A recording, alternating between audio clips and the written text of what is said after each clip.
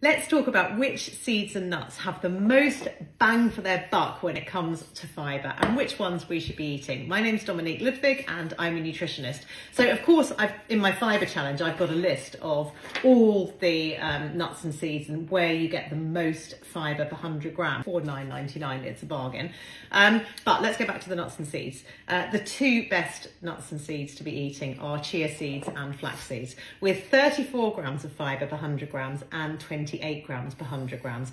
And why are these two stars of the show? Well, they just contain a lot more than all the others. And the reason is because they're really rich in soluble fibre. So if you put chia seeds in water, they expand and they go a little bit jelly-like. That jelly-like bit is the soluble fibre. And the soluble fibre is what supports our gut microbiome.